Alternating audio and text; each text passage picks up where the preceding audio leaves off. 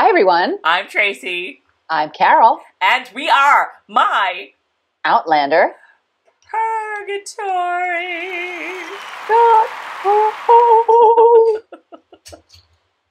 Carol, how are you this fine Saturday evening?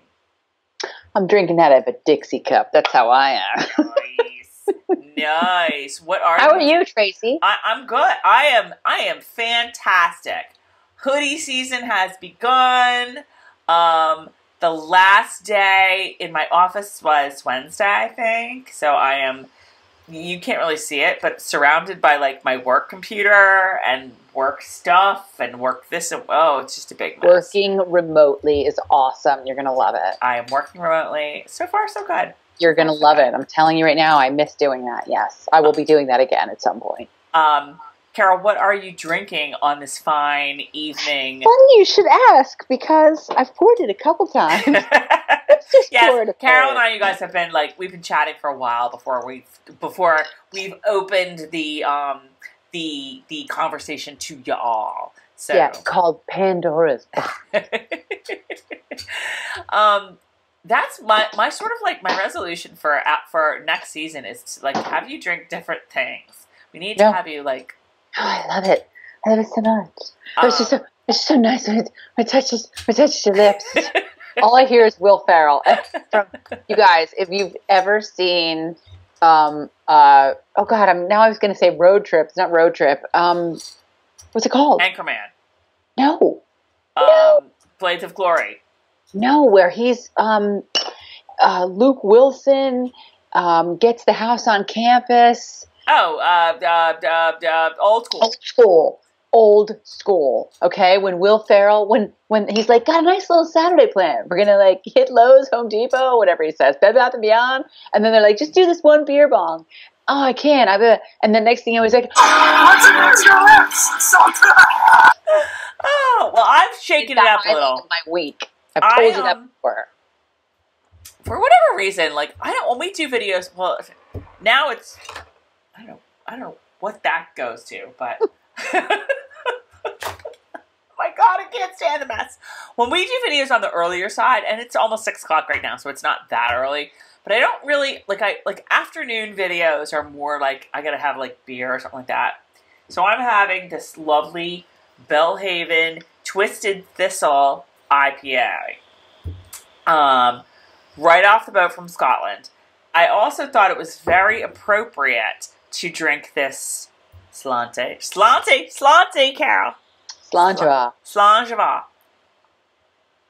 I thought it was very appropriate to drink the Scottish beer, given um, the little announcement that we have for you guys. The Scots beer to go with the Scots announcement. the Scots announcement. So last week we alluded to um, some very exciting news that we had gotten and confirmed, and April 25th, 2020 was a very important date in all of this. And we actually had some great, great, great, great, hilarious guesses. I think my favorite guess was you guys are opening a winery. Which don't discount that. God bless whoever it was who guessed that. That was just Mop so wine. friggin' funny. Tracy, we already have the tagline Mop Wine gets the job done. Gets the job done. Um, yeah, we, we're gonna have to like do some sort of special bottling. We'll work on that. That'll be a drought Droughtlander project. Um, somebody was like, "Oh, it's your big date with Sam." Pretty. That's pretty good. That's a pretty. I, I like that guess. You know, take that. Um, I wish. I know. Somebody was like, "You're gonna be extras in you know a, a Outlander episode." Also, a very good guess. I wish. Um, but we actually did have one person that guessed, and another person who who was really smart and Googled. Um, and we have DM'd both of them on Twitter, so check your Twitter DMs. But we can reveal the big announcement, the big confirmation. Carol, would you like to do the honors? I would. We're going to Scotland. And that's not all, you guys. Y'all are coming with us. We are announcing today the My Outlander Purgatory tour of Scotland. It's going to take place from April 25th to May 3rd, 2020. 2020. So, so you have plenty of time to count your pennies. Yup. You have plenty of time to plan. You have plenty of time to get somebody to watch the kids. Yup. There is like, it's so convenient for you guys. 16 months. 16 months to like get your, your, you know, stuff in order. If you don't have a passport, get your passport. Um, so let's tell, let me just tell you a little bit about like what's happening here. So we have teamed up with a really amazing company called Creative Adventures Tours. Um, the woman who runs it, or uh, one of the people who runs it, her the woman's name is Lisa, and she has been an Outlander fan for 20 years, uh, longer than us. Longer than frankly. us. Although I think- stuff. Carol, I think isn't 2019 10 years since we read Outlander? Um, 2009, November 2019 will be 10 years. Yes. I started so my boy, we're gonna have to do something for that too. 10 years since Tracy forced me to read these amazing books and I started the blog. Yep. Um, but anyway, so Creative Adventures does a lot of stuff with um, the thing that they like to do. They well, they do a lot of stuff with like the beating world, um, and they they take they find people who are pretty you know known in in whatever little niche that they're known in, and they are along on the tour to help lead the tour. Um, and just kind of get people excited about going to whatever specific place for that specific niche um, they're doing. So she's been an Outlander fan for 20 years. She's wanted to do an Outlander tour for 20 years. She kind of stumbled upon us and she's like, them. They're the ones. They're the ones that are going to like make an Outlander tour of Scotland hilariously, awesomely, epically fun. you know, and I mean, that's pretty. That's I don't know why. I I know. I can't imagine why either. what? Us fun? Really? So, and that's kind of the genesis of it. So we've been working on this for eh, a little while now. Um, the tour is set in stone, and we are so, so, so, so freaking excited about this, Yes. you guys. Yes, and let me jump in there, Tracy, Please because do. you guys, I, I have not blogged yet about it, but God willing, I will when I get a few minutes to be able to sit down and do it. I went with Mop Tom and my kids this summer, and it was magical. And the fact that we're going back to some of these places makes me so excited. I don't know what to do with myself. You're talking Edinburgh. I mean, Edinburgh. Carol, would you like to hear the, the actual places where we're going to be going? I wasn't going to read through all of them, but I was just going to mention the ones that I went to that I know for a fact are so amazing. Edinburgh Castle, Midhope, which is Lallybroch, is just an experience that you will never even imagine. Stirling Castle was too much for us to do when I was there. Tracy, you're doing that thing that you don't like when I do when you look away. Stirling Castle is a huge, immense place, and we didn't get to go. So I'm thrilled that I'm actually now going to get to go back. We're going There were there. also some fr- some photo ops um, having to do with the show.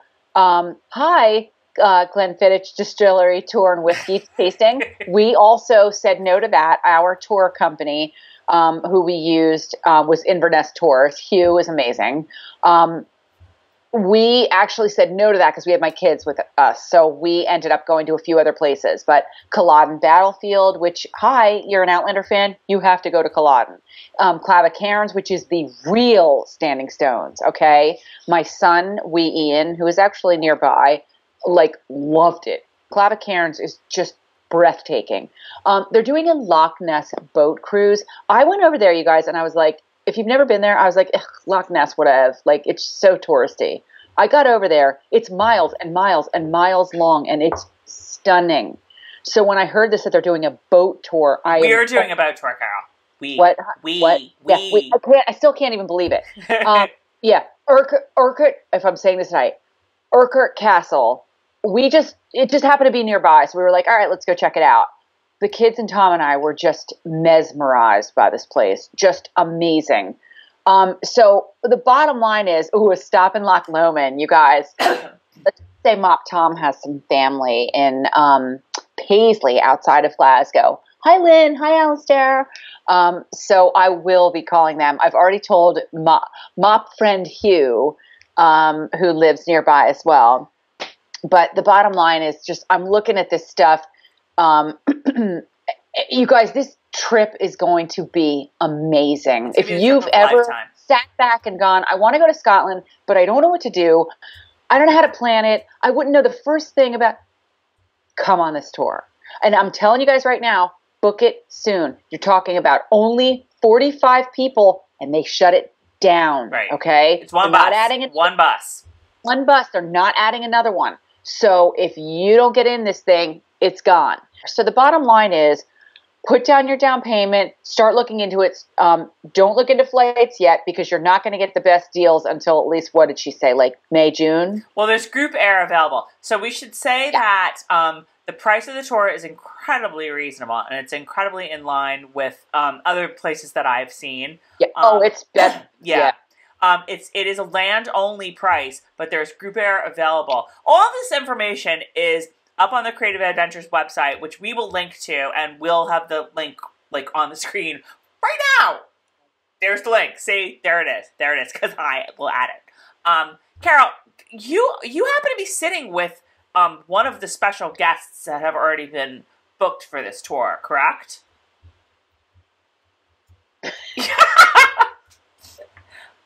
All yeah, right, you're, you're sitting. I You're sitting with a special guest of the tour.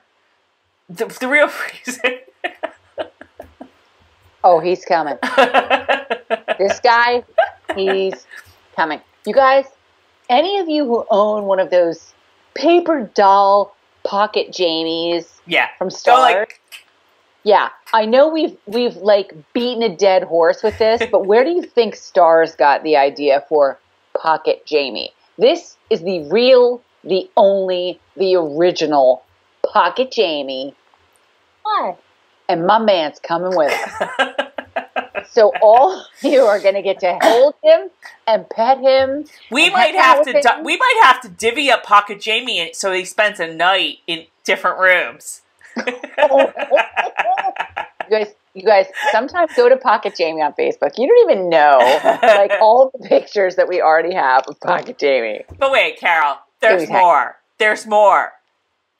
Um, Pocket Jamie notwithstanding, we have actually have a guest on the tour already that um, Lisa at Creative Adventures has confirmed that is so awesome. I don't even know what to do with myself. Okay, All y'all are coming home It- speaking language. you're going to be speaking the Gaelic because on our tour, special guest at the fi- the finale, finale, the final, the the bon voyage dinner is the Outlander Gaelic consultant who taught Sam Heughan how to say Sassenach. you know, any any like Gaelic thing he calls Claire, he learned it from this guy. Àdhamh Ó Broin is going to be our special guest at the final dinner of this trip. And if you aren't impressed that Tracy just said his name, hopefully correctly, I really tried. you should definitely be impressed that my man's coming to this dinner. I'm here to help. Um, we might be working on another uh, like possible possible We- surprise like, or two. just- like we have not yet begun to surprise you we, guys. you guys, we have not even begun. like this is just like basically after a couple months of like you know working with creative adventures on this this is like we haven't even really like scratched the surface yet okay so i can't what the hell i can't stress enough this tour is going to be epic and y'all you gotta jump on this because like you know carol and i are telling all our friends and we're telling like all Yeah. of our outlander people Uh-huh. that we've known for years and years so Jane, Nancy, I'm already telling people, so you guys better book this Yeah, fast because yeah, it's going.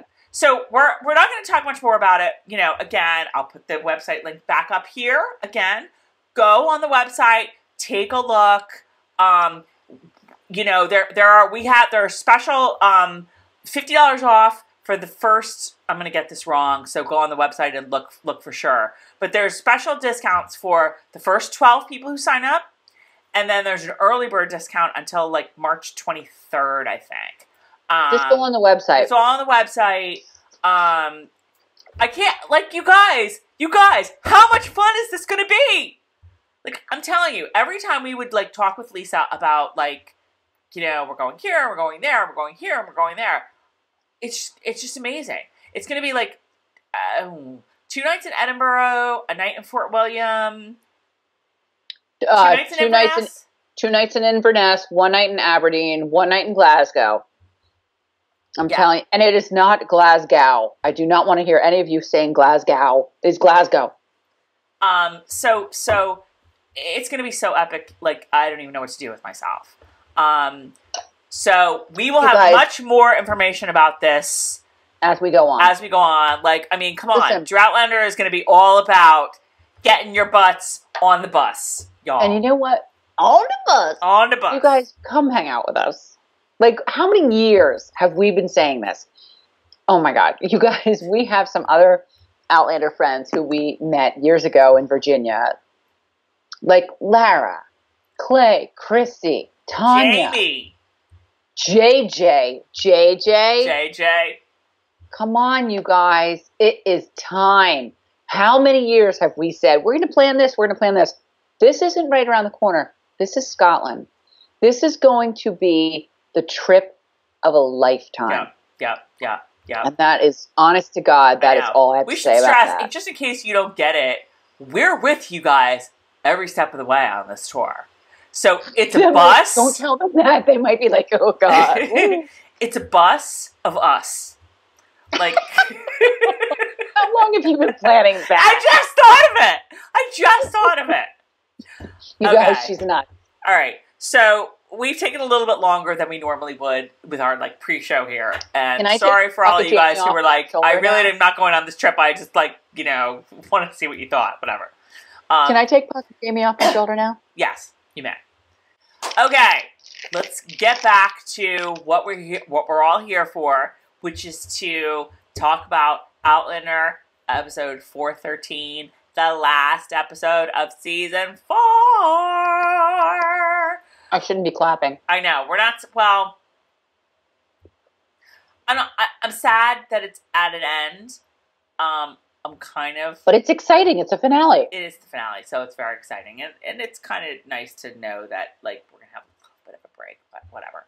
Um, and we have so much other stuff to talk about. We're Carol and I.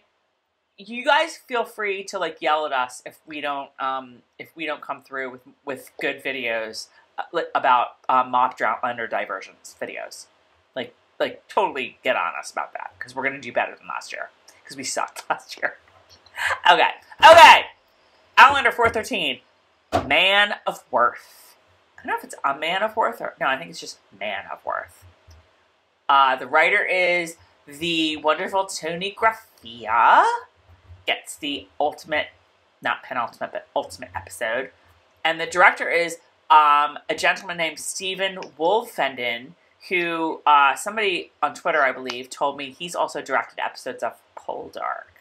So, Stephen Woolfenden, might we get that Outlander Poldark crossover episode that the world needs someday?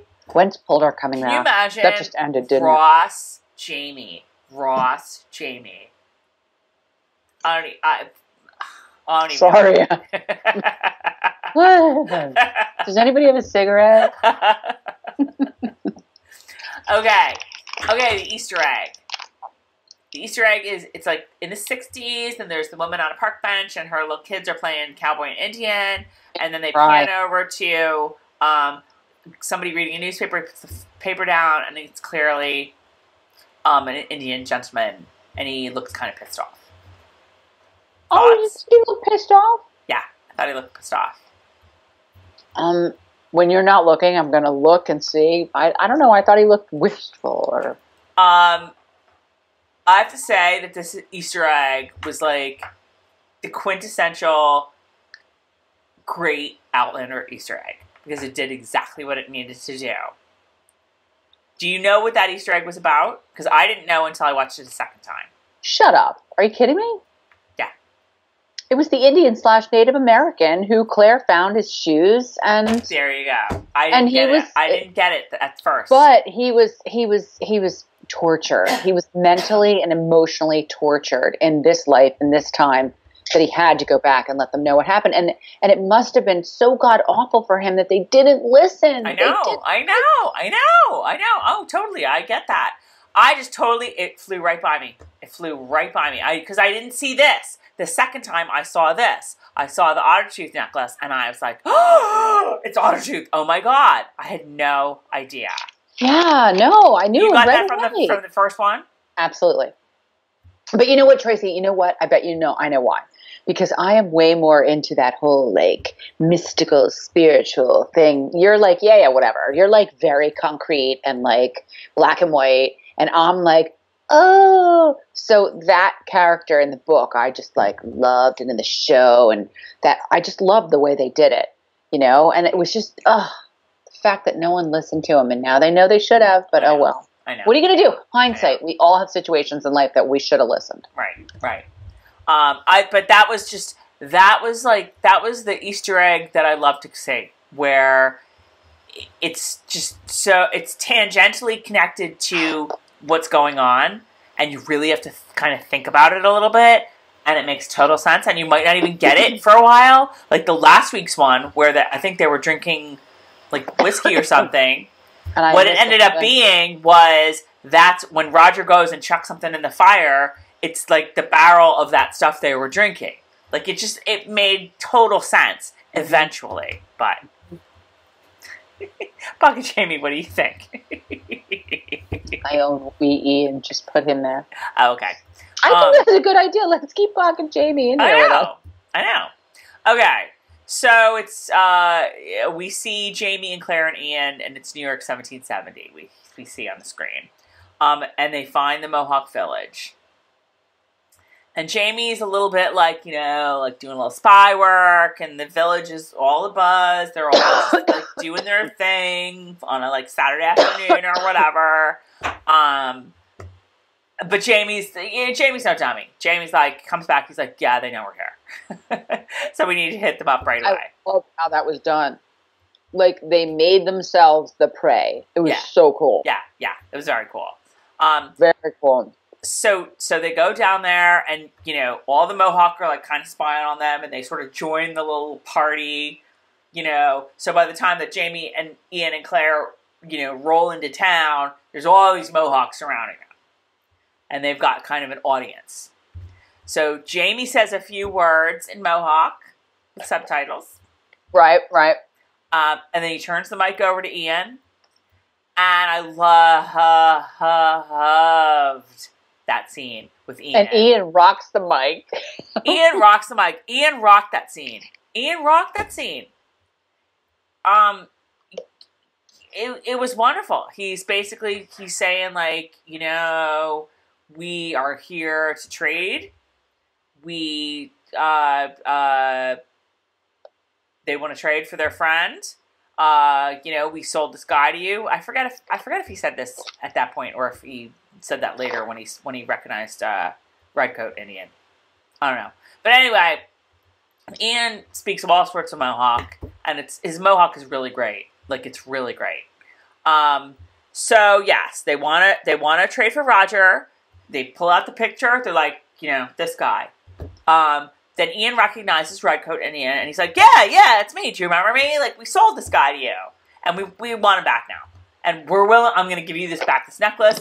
Look, we've got this. um, this bag, this lovely bag of pots and pans, valued at six hundred dollars. you can hang these over your kitchen island. They'll look great. I was like, yeah, you know, mm, guys, like a bunch of pot, pots and pans. eh, You're gonna maybe need to up the ante a little bit if you if you want to get Roger back. Just just Right. saying. Um, How much do you really care about Roger? I know, right?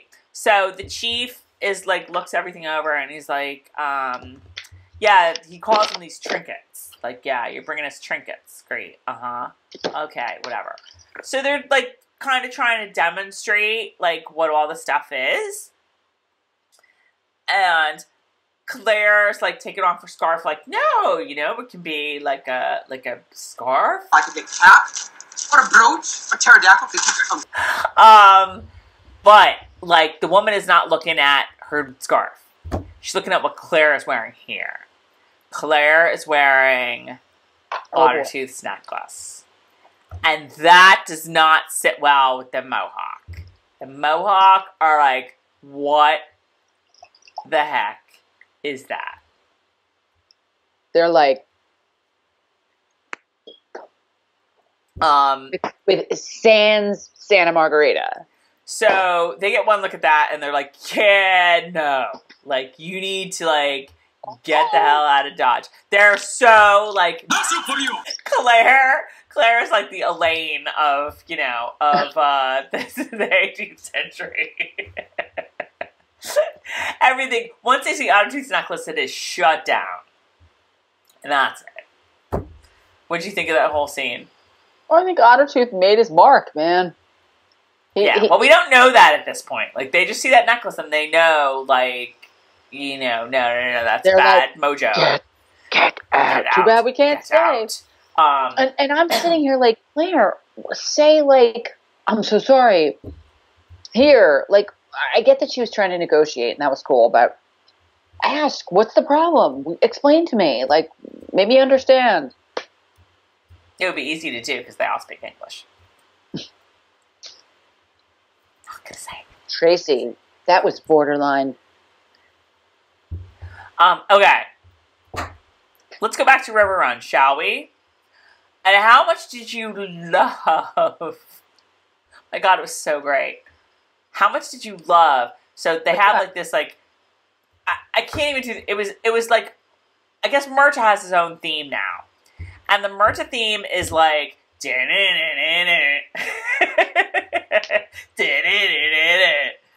Murtagh, like, you know, arrives at River Run, he gets out. I forget if he was in a carriage or if he was on a horse. I don't honestly remember. But um, he just gets out and they have like this like studly Murtagh music. That's what I'm gonna say. So he gets Hottest, out. hottest one on the show this Oh season. my god. Oh my god. He looked great. He looked really, really great. So he's at River Run and he's eating dinner. Jocasta's staff has made him a roast that looks delicious with all sorts of vegetables and like really great stuff there. And he's just like And he thanks her kindly for the roast. The roast beast. let me just be let me just say, um Mertz is licking his chops over this roast and Jocasta's at her chops over Mertz. Did you pick that up at that point? Oh my god, yes, I wrote it down. Joe makes him like- dinner and licks her chops too. Oh yeah, she's like, yeah, she knows what she wants. So she's all like, you know, she basically wants to know what landed him in jail. And, uh, you know, they talk a little bit about, I didn't really read this, like, I think they talk about the regulators there, and she's a little concerned about him being a regulator, and, you know, whatever, whatever, whatever. Um, so Jocasta tells Murtagh, well, you know, uh, oh, he says something like, I, you know, need to, oh, she, I think she said, like, you shouldn't stay at any one place for very long. And he's like, yeah, yeah, yeah, I know it. I just came in to check on my niece. Um, or Brianna, or my, whatever. Um, and Jocasta's like, she's all the good. drawer. The artiste. Yes, the artiste, the drawer. Um, she's all good. You know, it's all good. She was really like, uh, she was really much more lively when Lord John was here. Um, but and he got called away to, you know, for business. Now she's bored AF. But but he's gonna be back soon because they've got a wedding to plan. Marta like. Marta, you know, if he could have done a spit take, he should have. Because we're just like, Murtagh's like, say what? we're just like, excuse me, what, what, what, what? So Come yeah, down. yeah, and Mark's like, oh hell no, that no, no, no, no, no, no, no, no, no, no, no. Murtagh's like, I hate that guy. Um, so he kind of freaks out. And then he says to Jocasta, like, I mean, I know you're fond of weddings because you've had three of them. And she is like,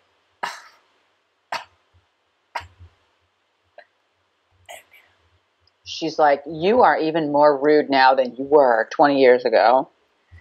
Um, and she's like, yeah, um, have a good dinner and uh, later, you know, uh, peace out. I'm out of here. And how many of you were like, yeah, they're going to do it before the episode is over?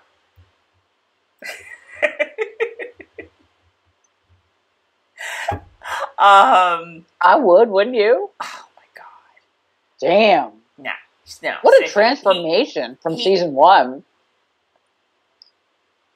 oh, what do you mean with Murtagh? Mm, mm. Well, Murtagh was always kind of hot. Like even in season two, you know, he was he was bagging his babes like all around. Remember? That's when he and Claire started to be. I never bagged a babe. um, he was yeah. I mean, like he would tell Claire all about his little exploits. Remember when they were becoming buds? oh yeah. You know, When So- they were singing for their supper. Yeah, well, that was season one. I don't know that he was like really like like you know taking numbers at that point, but like in season two, he was definitely when they were in France, all those French women. Oh, he was like My man. he was having his share. yeah, yeah. Um, He was he he had his share. Uh, no, I, I I totally remember one scene with Claire where he was like, you know, you know, giving details. He was, you know, yeah, he was, yeah. There was like some some some like maid lady, like some you know, some French maid. She was a Some of the household help or something that was into Murtagh. Uh, I Oh. don't. I kind of remember that, yeah. Okay. All right. Anyway, so now we turn to Bree, and Phaedra is like doing sort of like I don't know. I don't know. She's very like call the midwife here. She's very like they sent me from Nanada's house, um, and I'm just checking everything here. so yeah, she's like Bree's like, you know, Bree's like, oh, you know, you've birthed babies before, and Phaedra's like, yep, I've done it before. It's all good. Um, With that thick Scottish accent. Bree's all like, she's got some drawing. Did you happen to notice how thin Bree was, except for the basketball? I was like, Some women carry that way. I think you did, didn't you? hell no, I carried everywhere. she's like thinner than she's like a runway model. She's like a Victoria's Secret show until right here. And Some women like, carry that way. Like from the back, you're like fine. From the front, you're like whoa. Like, do we need to call the call them the Nana's house right now? Um, I couldn't see my feet with number two.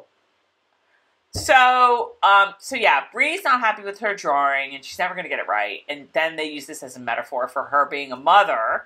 Um, and Phaedra's all, you know, like uh, she cheers her up. I don't know. She's just like, yeah, you're going to do fine, whatever. It's all good, whatever. Um, okay, we're back with the whole the the Mohawk, New York, Jamie and Claire part.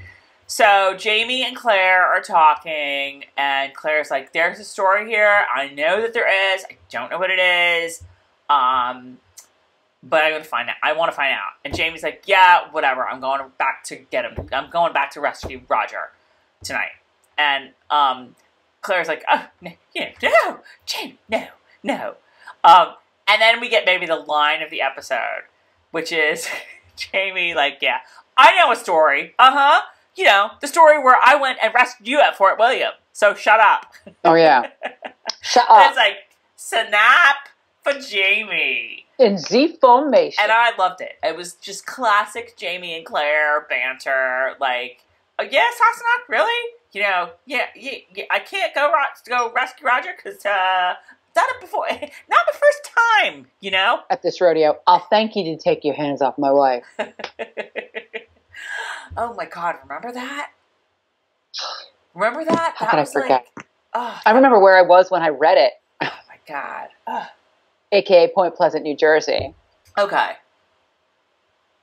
So they're setting up camp, right, out- whatever, and then Jamie's like, you know, don't move. Ta-da-da. And then, woo! And all the Mohawks Great. descend on them. All want the Mohawks descent on them, and And Joanna Gaines. now's where gonna start complaining. Now's where I might start complaining a little bit. What? I Oh. might, I just, uh, you know, The, this was the, like, the woman who wants the stone bag. I, I, I'm I'm sorry. I just have Joanna Gaines wants. her oh my god, Bag. and it's totally Joanna Gaines. Joanna Gaines wants her stone bag. Good call, because you know she wants to like put it on a shelf, like with the. They should have given Joanna a, a little role, a little cameo in this show. Oh my god, you're not kidding. She is 100% Joanna Gaines. Don't you totally want to be Joanna Gaines? Every single bit. The designer, her history, her ancestry, all of it. She's so gorgeous. I know. And I see this woman and I'm like, this is Joanna Gaines. Oh my god, she was totally Joanna Gaines. That is such a good call. I never she's thought of she's that. She's the big decorator. Oh, the teepees I know. of the right? longhouse. She's the longhouse decorator. I think this kitchen is fun because there's a lot of mix and match going on. I don't think they're really longhouses though. In the It wasn't a very the one they showed last week wasn't very long, and I got kind of annoyed because if you go to the Museum of Natural History, like they have like the workups and stuff, and it's the longhouse. And when I was reading it, you know, I was like, "That's where's the longhouse?" They're Whatever. more like not made of not. It's not Adobe. It's like it, it, they're like rounder. They're like uh, yeah. It It, wasn't-. It definitely no. wasn't like what I was picturing. yeah. Um, Let me tell you something, you guys. I'm just going to interject really quick, and I'm sure I've done this before, but I'm going to do it again. So our area is very um, Native American. There's a lot of Native American culture. I have a um, plaque in the woods up the street about the Lenni Lenape um, Indians, and it's like my dream to find like an arrowhead. It is my dream, you guys. For Christmas, I got it. Did, Tracy, did I tell you this? I got a new metal detector. Oh, I think you did. Yes. I purchased it for myself. I got a new metal detector that I, is, has yet to come out of the box. But that is my dream around Like the wine glasses I gave her. Just, because because you guys, it's really hard. What I want to do is go to certain places like Revolutionary War sites, but you can't legally just walk on there with your metal detector. so I'm like around here. That's so great. I'm gonna take my dog for a walk and with my metal detector. My friend Barb, who wants to come to Scotland, you guys, and she is how much fun is Barb? Oh my god, seven days, oh fun. Um, she wants to come to Scotland too, and she's a metal detector nerd like me. And I'm telling you right now, it is like my dream to find an arrowhead or some type of tool or something, because that's what I have around here is Native American history. Okay, continue. Um, I don't even know where I was. Yeah, so like this whole Mohawk fight never happened in the books. Very much reminded me. Very much reminded me, and I'm about to be spoilery on Twilight. So you know, if Who you haven't read read Twilight at this point? now, here's what it is. So in the books, in the books, there's no fight. There's no like like in the books. This whole Mohawk sequence is rather subdued. I mean, I didn't. I meant to. I meant to go reread it today, and I didn't do it. But but in general, you know, they basically go into the camp. They do like like Jamie does end up like maybe maybe sort of kind of taken prisoner a little bit of, and like thrown into the shed with or wherever the hell Roger is. Right.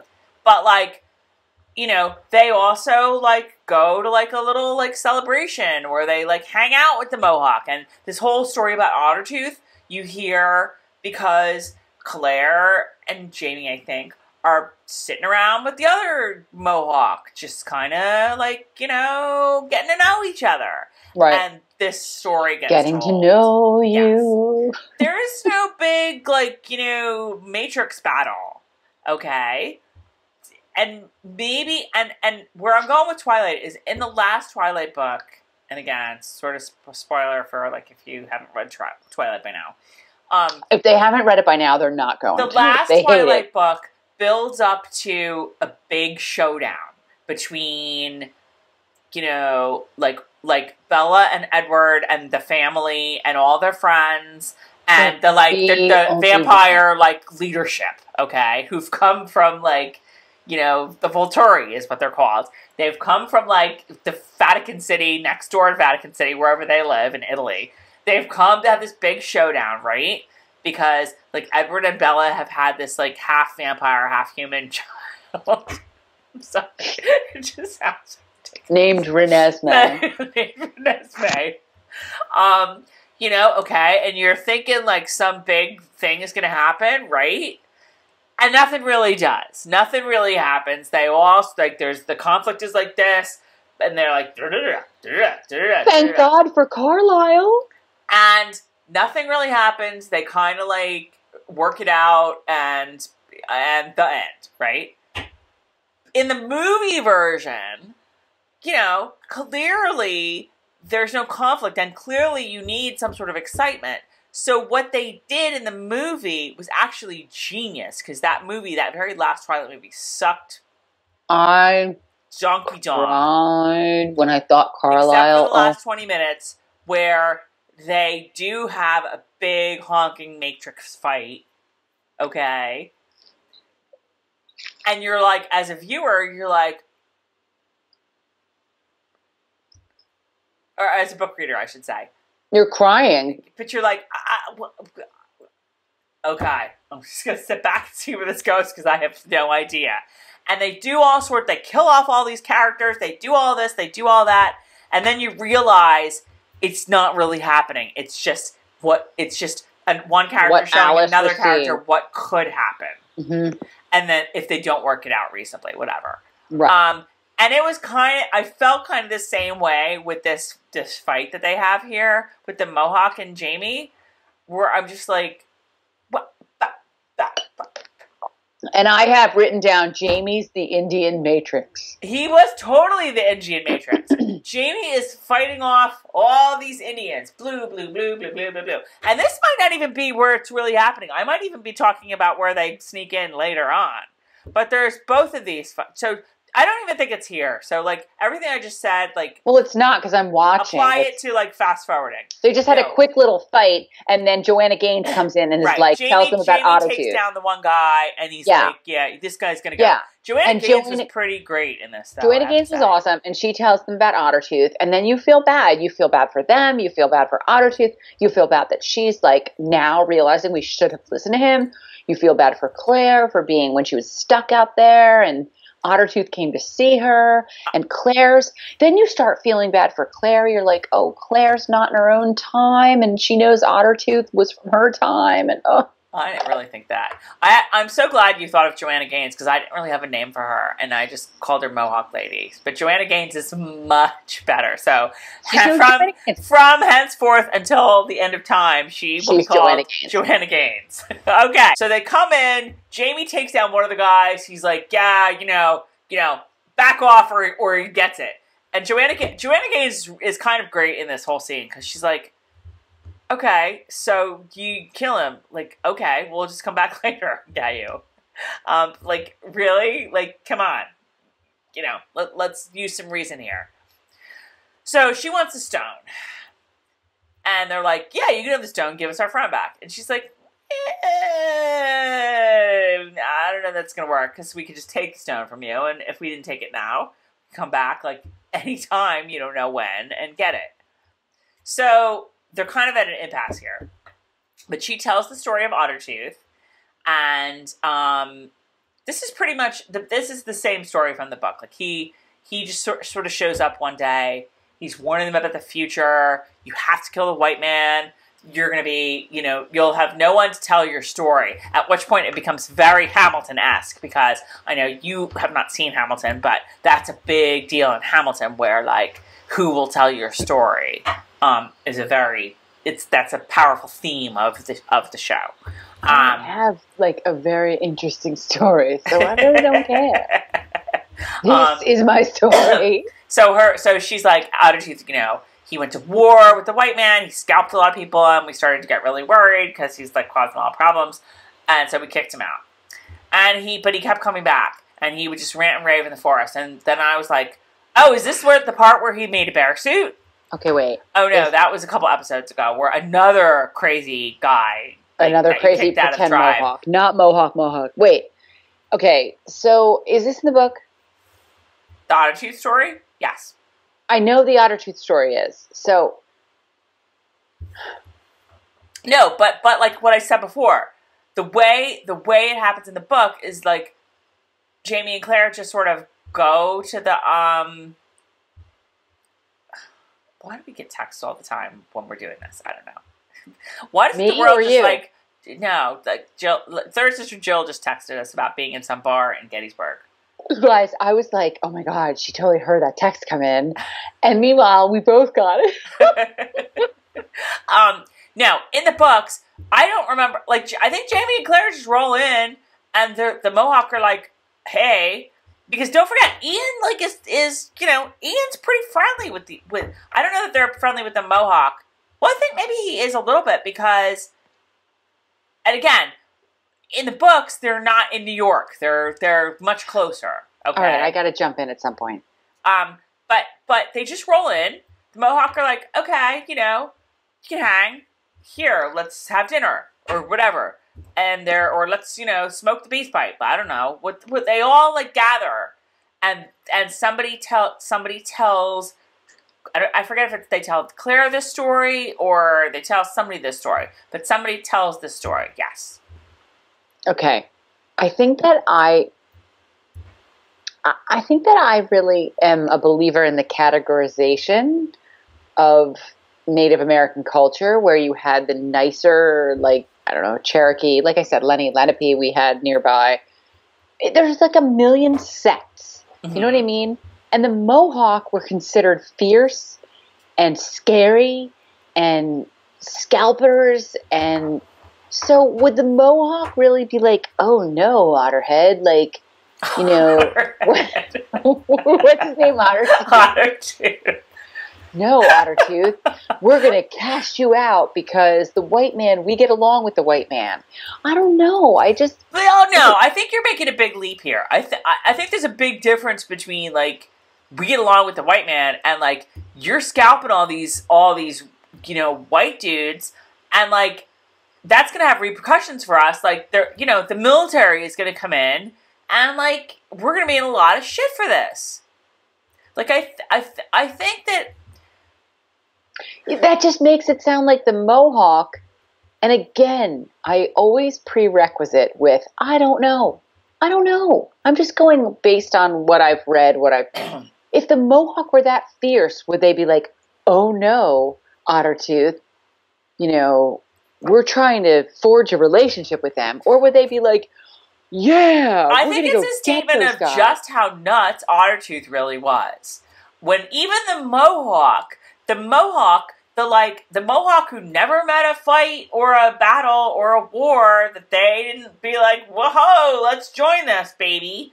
That the Mohawk were like, yeah, this dude be crazy.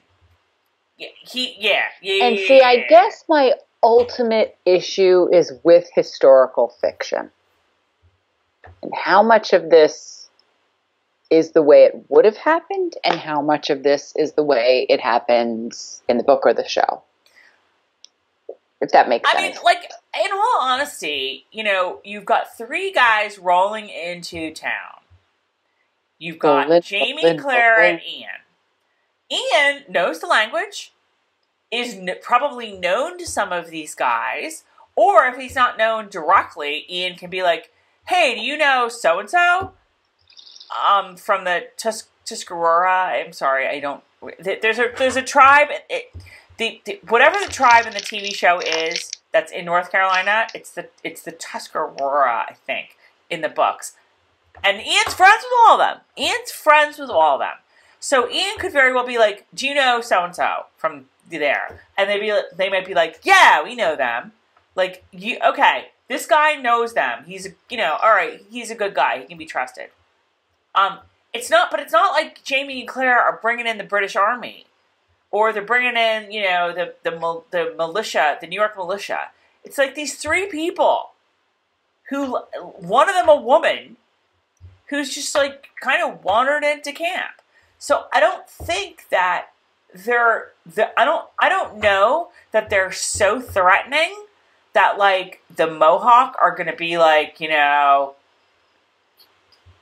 a kill them right now. I don't know anybody would be like that right now. They'd just be like, what do they want? I do like the concept of them walking along. They know they're they're the prey. They know they're, but it kind of takes balls. You know what I mean? It kind of takes guts for them to walk along and be yeah. Right, right, right. All right, so so back to the back to um Joanna and they'll be likewise respected by the Right. Mohawks. My point. so Joanna Gaines feels this. She she tells the story about Otter Ottertooth. He was a big pain. They finally got rid of him. They scalped. They they. They killed him. They cut off his head. But they but and they buried it far away. And Claire's like, I can take it from there because I found it. You know, and that's and that's that's how the whole connection is. So Joanna Gaines is like, we want the stone so we can see what's coming. And Jamie and Claire are like, well, we'll give you the stone if you help us get our friend back. So I was Good just like, negotiating skills. right. I, I, I, I was a little, I guess I had a little bit of a question about why Joanna Gaines would sort of go off by herself, who these guys were that were like with her, and didn't didn't I- I guess I was sort of under the impression at that point that the whole tribe that they did want the stone back.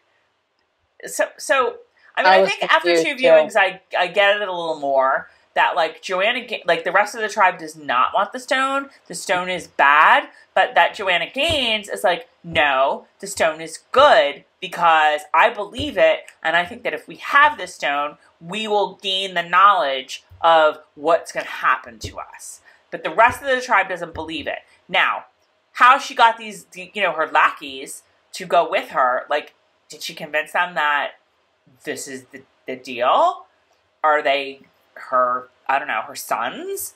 Or whatever. She has some, she has some supporters who have come with her but I didn't quite get like why they supported her, and I also didn't quite get like this fracture in the tribe between the people who thought the stone was evil and she who thought the stone was a valuable tool. I Mhm. certainly didn't get that on my like first watch. Mhm. I think I was sort of figuring out a little bit on the second watch. I mean, were you like that too? Like, Um, I just was like, why is this this faction? Like, why is this this? They were the breakaways. Right. I mean, I figured, like, what I wrote down was, you know, uh, doesn't the whole tribe want the stone, or is the tribe afraid of the stone? She's smarter, and she recognizes that it will be useful, or not smarter, but like she wants it because she sees a use in it that she can't Right. convince the tribe. I wish that we would have seen that a little bit. I wish, I wish maybe we would have seen in the original scene where they go and they try to trade it for the stone, and maybe it's there and it's really subtle, and I just didn't get it. Um, but I wish we could have seen her like almost maybe maybe be like, excuse me, I think maybe we should like take this deal. Like like whatever's in the suitcase, like, you know, okay, Howie, I'm I'm ready to take the deal now. Um and get shot down. And then you get a little more sense of like why she she's interested in getting this as opposed to the rest of the tribe who didn't. It, it was confusing to me. It was it was just kind of confusing me. I don't know. I don't know. Should we move on? It was confusing to me, but I'm going to talk about it more as we move on. Okay. I don't really have anything to say right now. All right, we're back at River Run. Bree's talking to Murtagh. Bree's like, "Yeah, that wedding is a ruse, whatever." Um, and I, this was a lovely little conversation. This was like thirty seconds, but it was just, just, just lovely. Um, you know, Murtagh's like, "What the hell?" You know, um, what the hell were you there to see Stephen Bonnet for? And and Bree was basically like, you know, I wanted to forgive him. And Murtagh was like, "Did it help?" And she's like, you know what? It helped enough. It was, Hell no. it you know what? It's good. It's good. And then Murtagh is like, do you think maybe you could forgive your father in the same way? And she just, Sophie Skelton, this might be your moment of the season, in my opinion. She kind of like, she she hears this question. She sort of like thinks about it for a minute. She, I don't even know if she thinks about it, but then you just see this small smile, not even a smile, a hint of a smile. She's like, I already have, and it was just a lovely, lovely moment from Sophie. Sophie Skelton like did a really good job in this episode. I thought. Okay. I'm going to jump in now. Okay. Speaking as a surrogate for my neighbor Teresa, who has seen the shows. You know Teresa. Mm-hmm. She's been to Outlander events with us. she is not a book reader. She's more visual and she more appreciates the She's a shows. visual learner. She's the visual person. So she, I spoke with her today about this whole thing, and she is on board with Bree a million percent. She was grossed out by Jamie being all, what did he say when they first got in the big fight? He basically you told whore, her like, your harlot, blah blah blah blah blah.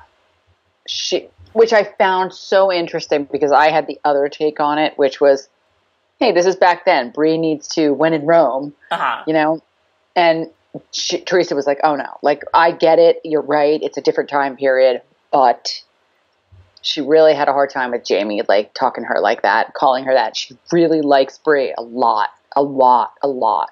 I do too. I mean, I I thought Bree was great in this episode. I really do. She has complaints about this not being the same as seasons one, two, and three. And I was like, she's again, she hasn't read the books. So I am very interested to know the percentage of non book readers if they're still on board. You know what I mean? Because I always say that when you, when people who jump ship from the books, they jump ship during drums. So I think and I, Teresa's not jumping ship, but she's like she's bit she's missing Scotland. She's missing the whole Scottish feel of the show, you know. okay. All right. And you know, so again, like I said, she's not jumping ship, but Right. um, but she loves Bree. Whereas like some, not that I don't, I think Bree's. She made the same point we have about Bree is. She's like, oh my god, she's so much better suited to this time frame Mhm. and to this life. She's so much. And how many times have we said that? Like in the '60s, it was like a Bree, but now like she's more believable. She's a better actress. Sophie Skelton, like, like, like she's just she dove into the whole thing and she's eating it up, and it's great. You know what I mean? Right. So Well, it's like what we've said. She's got she's got stuff to work with now. That's not just okay. Be a bratty teenager, Mhm. but a likable bratty teenager. I mean, that's Right. like she's got like real stuff to play now. right. And then I'm gonna hold my thoughts because I have plenty to say at the very end. Um.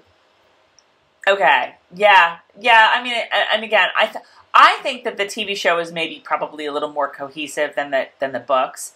You're right that a lot of people jump ship in this book because again, it's not all about Jamie and Claire. We've said that before. Um, they're doing very different things. Right. Um, it's a lot more America based, and it's a lot more kind of what they're doing in their day to day life based. Mhm. Um, so yeah, but but I so I think I, I don't know that you get that as much in the TV show. Uh, look, we need to get Jamie in a kilt again, though, y'all. He needs to be in a kilt. Enough britches. Enough britches. Got to get him back in his kilt. He wears his kilt all the time in America in the books. So leave him his kilt. Okay. Um, but I, I loved that moment. I loved that moment with Murtagh. Just great. Okay. It's nighttime at the Mohawk. The Mohawk are having a sing along. They're um, Sing along. I have I have to say I wrote down during this part. I just that camp like has like a lot of cool things. Like if you just like if you do a watch where you're just looking around at the camp, like they have really cool like things that they hang the meat on to dry and to keep away from the animals and stuff. Um, just like little, little they're little tools throughout. And little lights on the trees because Joanna Gaines totally did yes, that. yes. Joanna Gaines did a really good job with this with the with the Mohawk camp. Um, okay. So Joanna Gaines is sneaking them back in to get Roger. Um, Jamie takes down the leaf guard, the leaf hut guard, and they go in and they get and they get Roger. Roger's Right. like, "What?" He sees Claire. Like it worked. It worked just like they thought it would. Like where if it had just been Jamie, he would have been like, "Ah!" But then he sees Claire. Then he sees Ah! Jamie, and Claire's like, "It's okay." Jamie's like, "You know, I'll give you. I, I can give you my apology right now. You know, more more to come." And they are like, they get him out, and they're just about to make their getaway when along comes Rolf from Sound of Music. I was going to say Ale- Alexandria, what's her name? Cortez. I just saw somebody. I'm like, the oh my god! the Congress person. Yeah, she just looks totally like. All right, keep going. Just one of these people, one of these women looked like her. That's all. Okay. Keep going. Now, Rolf from Sound of Music comes along. You know, he's guard he's guarding the thing, and he walks up, and you know, uh, Joanna Gaines goes, "Rolf, please." Roll. And then I wanted so bad. I wanted windows. so bad for Jamie to take the um Captain Von Trapp part and like start to be like, "Come away with us," you know, Moa. And you have the nerve to look at me like, what? What the Oh my god, you didn't think that? It's right out of Sound of Music. It's right out of Sound of Music when they're at the Comet, um, or the Abbey, or whatever the hell they are. They're on the roof. Rolf shows up. Um, you know, there's Captain Von Trapp and Liesl. Liesl's like, Rolf, please. And Rolf is about to blow his low whistle, and then Captain Von Trapp is like, you know, you know you don't want to do it. You're not one of them. You know, come away with us. Do it. We all do it. We love to do it. We do it all the time. I just did it. I want to do it again. History of the World, Part One. so All I know is I was full on Matrix at this point. Well, Jamie did not give the Captain Von Trapp. that was not that was not an. Indian or Native American sound. P.S. um, Jamie did not give the Captain Von Trapp speech. So the Mohawk, the Mohawk guy is like, Rolf is like, you know, no, I have to tell. You know, they're here. Blows his whistle, uh, shoots his gun, whatever. Um, Oh yeah, and yeah. now yeah. we get into the big fight that I think I was Yeah. referring to earlier on. That I'm was like, that was Twilight. I don't know where the hell this is going, but okay, were whatever. Like, where's Jasper to teach everyone? Changing to stone and you will Jasper needs to be training everyone. You got to play that music. Yeah. Yeah. Um. Yeah. Jamie had like a bunch of like way matrixy moves there. The legs were doing this. I don't know. Jamie's just taking down everybody. I mean, Jamie's good, but like, come on. I mean, uh, Oh, I like it. I like it. I like it. Totally disagree. I love it. Anytime, for God's sake, get us a little Sam Heughan slash Jamie Fraser in here kicking ass. I mean, I guess so. I guess so. But, you know, I, I don't know. I mean, I will say I prefer the whole this whole Mohawk sequence how it went down in the books better than on the TV show. It's just me, but but uh, but in the next breath, I could say, I guess I can see the issues if you are if you are the TV show and you're the writers. I can see the issues with doing it the same way because it's much more subtle and much more layered in the books and nothing really, you know, there's not really. I mean, yes, there's the whole like Father Alexander stuff that we saw last week, which is probably the most violent of anything that happens in this whole sequence in the books. Um, which which which can be said now because now we've seen that Jamie does infiltrate the camp. That we hear about that whole um, we hear about that whole um, thing from uh, Jamie's perspective. Jamie tells us um, all about what happened because he saw it. I just want you to know I'm dumping into the butter tube. Tracey I'm starting to get hungry. It's like seven o'clock now, and uh, we gotta we gotta get through this because I gotta eat dinner. Um, And I told Wee Ian he could order sushi. I know we're I don't know if, whether we're gonna order out or go out or whatever, but whatever. Um, so so yeah, I mean I mean Jamie like actually like got through this fight pretty good. I you know I I was just like how are they not taking him down? Like there's a million of them and one of him. But eventually, I will take you down. I will take you down to Chinatown. Eventually they take him down. So okay. So next day, I guess light time, and like everybody's there at the tribe, and we are about to issue our you know our rulings. Um, the chief is about to let them know, let everybody know what's the deal. So Joanna Gaines is first in line for sentencing. Joanna Gaines, uh, you you are charged with like going to get that otter tooth necklace, even though we told you not to, and your punishment is that you're banished from the tribe. You're no longer a Mohawk. Which I didn't really necessarily disagree with. Um, nor did I. I mean, like Joanna again, and it goes What's back to like? And, and who are these guys that she got to go with her? right. I- I, well, I said I asked that before. Like, who are these? I mean, what's their motivation? And what happens to them? Do they get tossed out? Wait, can we can we drink every time they show Ian with the massive medallion? it's the GPS medallion. This is the right tribe. Like Claire and Jamie will be here, and then all of a sudden behind them in the middle is, is Ian with a big medallion. Um, so, so she gets banished. Of course, this all goes down in English, which, again, that's crazy. How do you say feel about that? It's great. Whatever. Are you allowing yourself to be silenced? Yeah, because everyone said like I gotta, I gotta shut up about it. No, not everyone. Not everyone. No, a pretty couple much of everyone. Everyone. No. I'm not. No, I'm not going there. I'm not going there. I don't like it. That's all I gotta say. So Joanna Gaines out. Think she gets dragged off.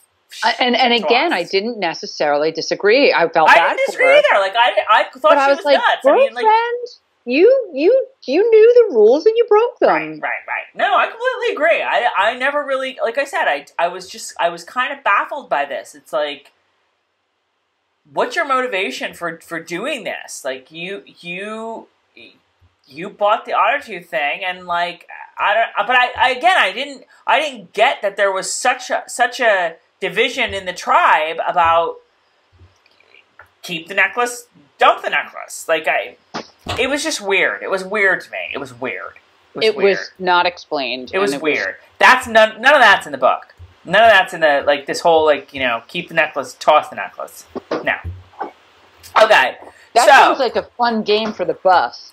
But then keep toss, Keep the necklace. toss oh, the necklace. Okay.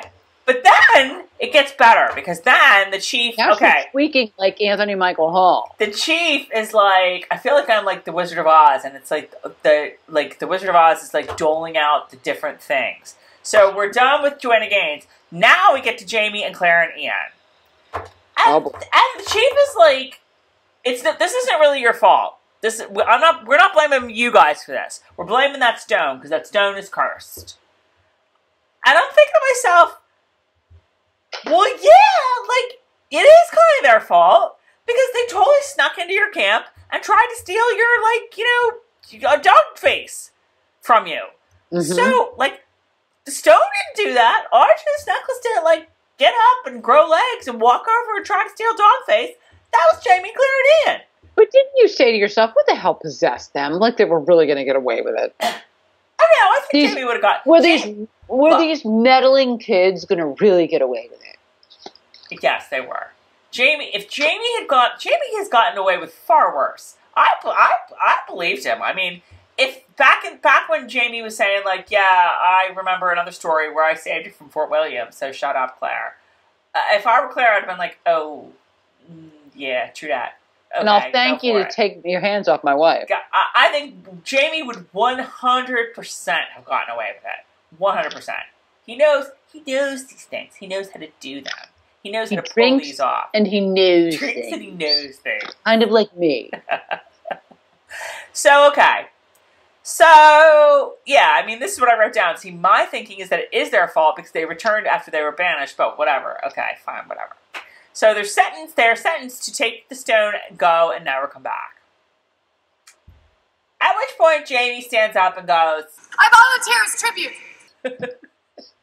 And it, and at which point I'm like, did I miss rewind that? um. So yeah, Jamie. Uh, Jamie is like, uh, keep me instead. Trade, you know, you're trading up. Trust me, bro. You're trading up because I'm strong and I'm like hot and um, you know, I learn languages really quickly, so it's all good. And then he turns to Claire and he's like, "Yeah, I'll skate first. Then don't worry, no, we're all good." Don't. And it actually was kind of a good plan because you know Jamie could get out of there in about two seconds. Um, and then Jamie's like, "Ian, Ian, go convince the council people about this. Go, go off and do that. Go, go, go." So he and so Jamie and Claire have the scene where they're like, you know, Claire's like, "You can't, you can't, you can't," and Jamie's like, Where there's all kinds of face touching. and making out and um yeah jamie's but i mean again jamie's right like it's kind of a brilliant move on his part unless they're going to beat him up like they beat up roger but i think jamie can probably take care of himself jamie would have to jamie would probably have to go through the grease line too but the grease line would be like jamie would be like yeah scoop of chocolate scoop of vanilla don't waste my time you know as sir sister joe likes to say um The grease line, that's a cultural thing that you're calling a grease line. Right. Um, so okay. So finally we hear the chief is like, Yep, we accept your offer. Except they're not really accepting his offer. Because in the midst of all of this, our friend, Wee Ian, has used some mad bargaining skills. And he's the one staying and not Jamie. Okay. We're going to break this down. Because out of the whole episode, this is where I was like, you guys, I try really hard not to be like, in the book, da, da, da, da." Do you have enough liquor because you're going need it? Tracey, I have drank way too much.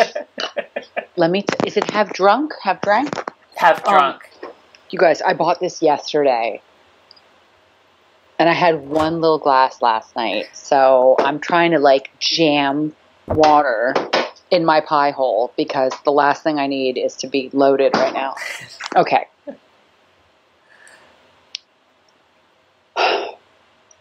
I felt like in this episode, and I'm not here to pick on anybody. Come on. We're all here because we love the show and we love the books. Let's just chill there were two parts in the books where I lost it. And I lost it to my sister, Tracey, my big sis, who told me to read the books in the first place. One was when Claire went back through the stones and Jamie stayed and fought in Culloden at the end of book two. Two. And I was just a soup sandwich. I was like a mess. The second was at the end of drums when Ian stays with the Mohawk.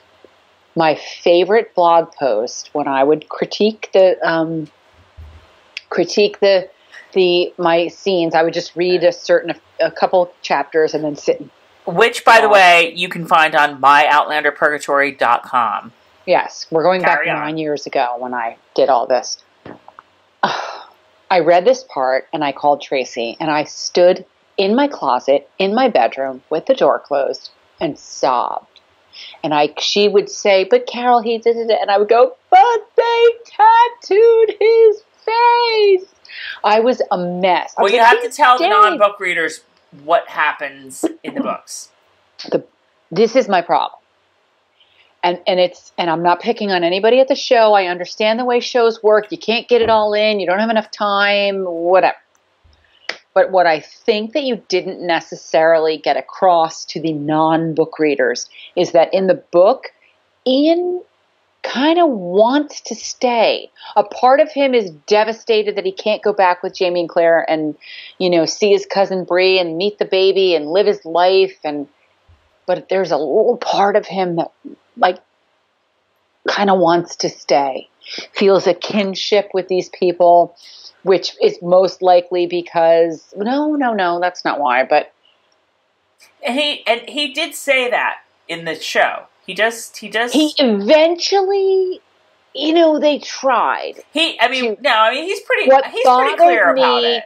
But but no, no, because his decision is based on I'm not happy about this. I'm not happy about having my my my hand forced, but I'm going to stay partially because I want to be here.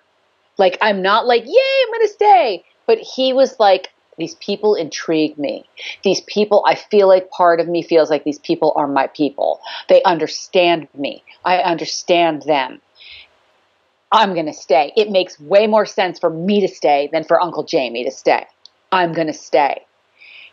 And I didn't get that from the show. I got a kid who was terrified and was like, "Oh, I'm going to stay. Like, I, I'll stay. You know what I mean? Doing the right thing, but really, I wish there had been more conversation. I just wish, I'm always looking out for the people who didn't read the books Mhm. and and I want be, you know why you guys because the future of the show depends on them. Like it's all well and good to do things to make the, the book readers happy, but what about the percentage of people who didn't read the books? You know, my neighbor's like, I don't know, I wasn't really loving this, and my husband is really not loving this. He loved the first three, but now he's kind of like, eh, falling asleep. I know you guys work really hard. I know the producers. I know they they they try so hard to remain true to the books. So I am not picking on anybody. I am not saying like, "Oh, this sucked." I'm just saying there have been a lot of things over the years that I've gone, "Oh, well they couldn't do it that way." But this I wanted to see more of Ian's intrigue and Ian's I'm going to stay because I've got it inside my soul Mhm. to stay Mhm. and I didn't see that. I saw a scared freaking kid that stayed because he saw Jamie and Claire shitting themselves and realized that for 20 years they were apart and he was like, "No, I'm going to do the right thing." It was more of I'm going to do the right thing and stay, but he was terrified and it wasn't until the grease line that he kind of said, "Okay, I I'm good with this." I guess I kind of saw it a little more than you did.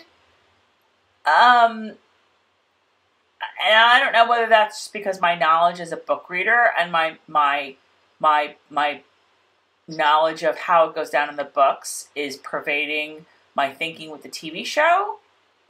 Um, but I will say this that it would have behooved the show all of the times, probably like three different times this season. Um, it's been like, where's Ian? Oh, he's off with his Indian friends. You know, where's oh what oh Ian didn't come? No, he's gonna meet us later. He you know sp- spent the week. He went hunting with like the you know, honestly don't even remember what tribe it is anymore. Like the Cherokee, whatever. You know, he went off hunting with them. And it might have behooved the show, even for like 15 seconds, to see Ian hanging with, like, being, be, you know, rather than just hearing secondhand that Ian's like off having, you know, hanging with his with his buds, to see that, so that we're not told we're shown we're we're we're shown it like it it and and even that a little bit because you do they do they do give you clues. I mean, he's clearly he's very comfortable with the Mohawk language at the beginning. Um, but even in this episode, you know, maybe maybe show him just a little more comfortable with the Mohawk people than Jamie and Claire are. Show him just a little more one of them than Jamie and Claire are. She's, she's, so that when he does come to this decision, to Carol's point, it's not just about like I'm I'm doing the right thing and I'm I'm keeping you know Uncle Jamie and, and Claire together. Um, eh, that he's that it's more than that. Than it's that it's about like this is what I've chosen. This is this is the life I want to lead. I want to lead. I'm I'm not being forced to lead it. I want to lead this life. Right, right, right. I'm choosing of my own accord. And that was the thing is that in the book that I hope you non book readers got, they were there for a while. It wasn't just they showed up, they got kicked out, and then they had the Matrix fight. They were there for Right, like weeks. right. And Ian, Ian was sort of flitting about with the Indians and and He there was one there was one Indian where he you know he quite quite was quite taken with her. And there was there was a mutual respect there. Right, right, yes, yes, that boom, Yes. boom. Yes. You So just hit on it. You hit on what was missing from the TV show. The a mutual mutual, respect. respect. Yes. Yes. And instead, they made him do the grease line and threw shit at him until they realized, oh, he can take it. and I get, again, I guess it's because on the TV show, on the screen, they need you to see, they need you to see the, they need you to see it come to fruition. They need to see the light bulb go on off over his head. They need to see everybody, all of the Indians throwing stuff, whatever, whatever, punching Can, him, whatever. can I interject something? And this is from the books. Please. So, so I, we should say also that like it's just this is the scene that remember a couple weeks ago when they had the Lord John Bree walk around scene, and I was like, Mm. you know, yeah, they did an okay job, but it was never going to be as good as in the books as it was in the books to me Mhm. because that was like one of my favorite scenes in the whole series, and, Mhm. I, and I just knew going in. I also knew going in that this scene was never going to be as good as it is in the books. In the books, they like like you know Jamie does make. I I think basically. So here's the thing. I think in the books. It's more very matter of fact to the Mohawk. The Mohawk are like, okay, we will give you Roger, but like, no, we're not taking your trinkets or your booze or whatever. Like, we believe in, you know, a fair trade. So we will give you Roger. You need to give us one of one of your people. That's that's the trade. Like a, a guy for a guy. Mhm. And so that's where Jamie is like, obviously it's gotta be me. I'll go. I'll escape as soon as I can. No worries, whatever. And you don't see where Ian is at that point, but I guess he makes the arrangements, whatever. But he and, and I think that Jamie and Claire maybe are like in the hut or longhouse or wherever where Roger is. Ian comes in.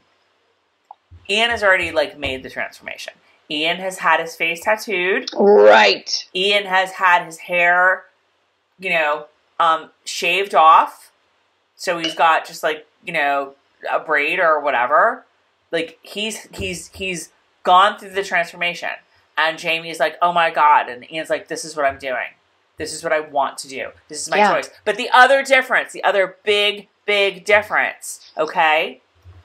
Rather than the grease line, what they do is a naming ceremony to Ian, um, where Yeah, he basically respectful. like gets rid of his old name and gets a new name. Mhm. Oh my god, I totally forgot his Mohawk name.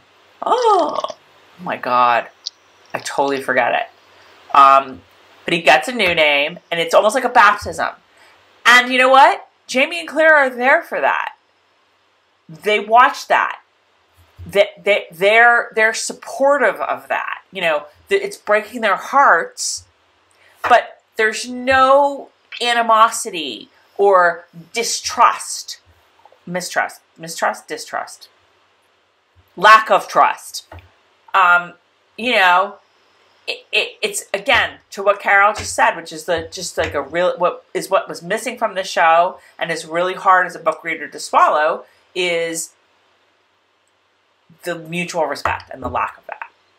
Okay, and, And- yes, and- and, Ian, Ian, there was there was an Indian girl that Ian was way into, um, and that you know helped too.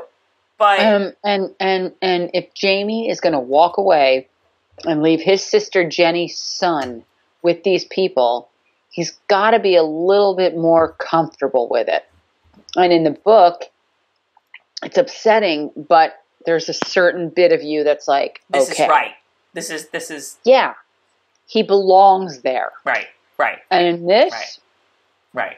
But but again, this is another one where I just knew that they they weren't going to be able to get it the way that they that the book did. Um, why? it, it because it's just it's so subtle. You don't have time to build the relationship. You don't have time, and and quite frankly, again, going back to Twilight, maybe it's boring. Maybe it's boring to see people like sort of mistrust each other, but sort of get along and sort of just talk and and come to an agreement and not have a big like matrix fight. I don't know. Maybe it's just boring. I, I don't I don't know. It's not boring in the book because you, as the reader, read it and kind of like give it your own interest, whatever. The show is the show, the book is the book. I will be very curious to know what non-book readers thought of this particular episode, of this particular mm, like like scene. Did you buy Ian's reasoning? Did you think it was weird? Did you buy that he would he would think this way? That he would that he would take this action not just to save Uncle Jamie, but because it's what he wants to do. Like, have you, has his character in the show been developed that much in that direction that you bought that? I'm, I'm very curious to hear that. Yes, me too. And this is like, it's a testament to John, to John Bell that like, I, I bought it as much as I did, quite frankly. Um, and I will say that the scene between Ian and Jamie was, I thought, wonderful. I mean, I really, really, really did. But imagine the impact. Imagine the impact if they had had had this if they had been separated and if the decision had already been not just made but finalized and they had the mohawk had like already transformed him and jamie seeing, seeing him you know but but but Sam Heughan and John Bell, that scene was just was just so yeah. Slow golf clap for that. Um, it, it, it was it was it was really it was really wonderful.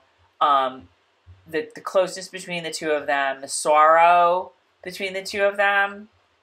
Um, and Ian being like, "No, I'm don't come get me tomorrow. Yes, yeah, that was so great. That was so great. No, I don't want. I don't want to be rescued. This is what I want. I guess but Carol and I both just said wish that there was more of a of a of a understanding of why he wanted that. Okay, so they couldn't have shown him for two seconds with some girl. I don't know, guys. I, I don't when know. you're making your videos, do you ever put lipstick on in the middle of them? Uh, no, I don't. All right, we have to wrap this up because I'm getting hungry. Okay.